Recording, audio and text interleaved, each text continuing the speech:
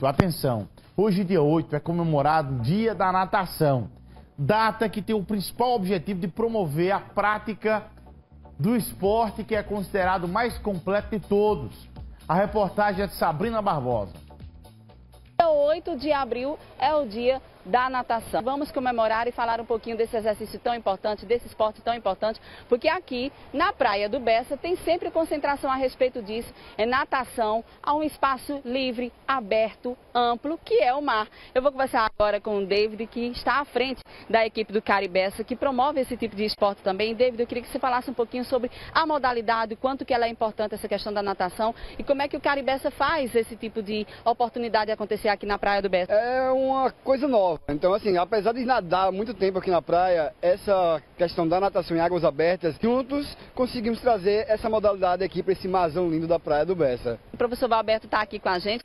Professor, você é um dos responsáveis aqui por a questão da natação em águas abertas. Quando a gente costuma dizer águas abertas, fica todo mundo já um pouquinho tenso. Será que é tão seguro quanto uma piscina? Me explica a diferença da modalidade.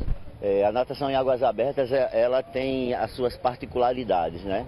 É bem diferente de piscina. A piscina a gente, a gente tá, encontra o ambiente mais seguro, encontra um ambiente do mesmo jeito que a gente deixa todos os dias ali. E o mar não, o mar entrega uma experiência nova a cada dia, a cada hora que você vai nele. Eu sempre costumo dizer o seguinte, o mar é como o dia a dia que a gente vive.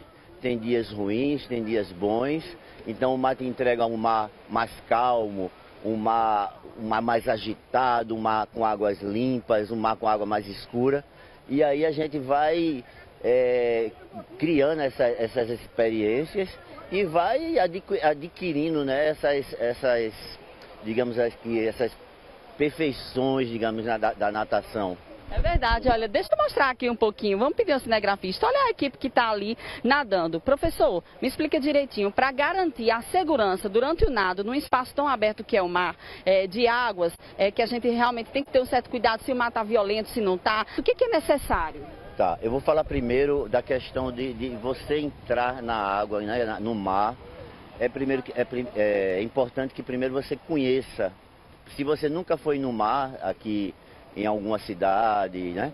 Você procure saber do pessoal que mora, que, que já frequenta aquele, aquela praia, como é, se a, a correnteza é forte, se tem pedra.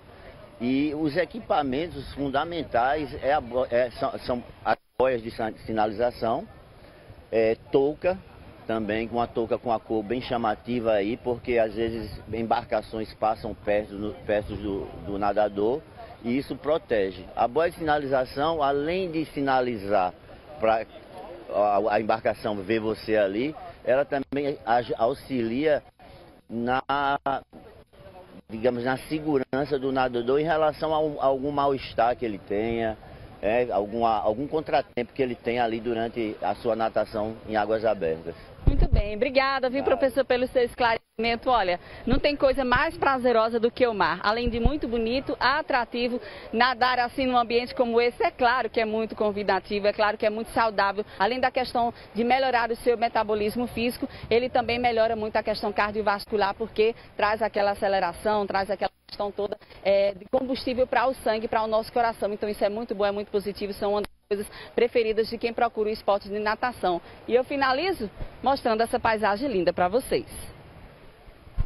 Ah, Sabrina, é algo importante, né? Fazer atividade física, porque ficar sedentário não dá. Eu que sou um sedentário, sou sedentário recentemente.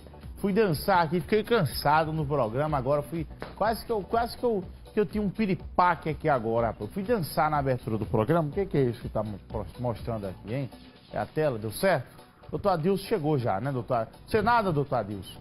Eu não sei nada. Eu, eu, eu, pretendo fazer natação.